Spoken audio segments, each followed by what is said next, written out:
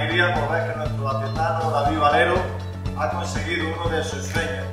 Queremos felicitarlo a él, a su madre, a su familia, a todos los que pues, Creo que es un día histórico para Baza, para el deporte valletano, que significa que cuando una persona como él tiene fuerza, tiene capacidad, tiene ganas, todo es posible.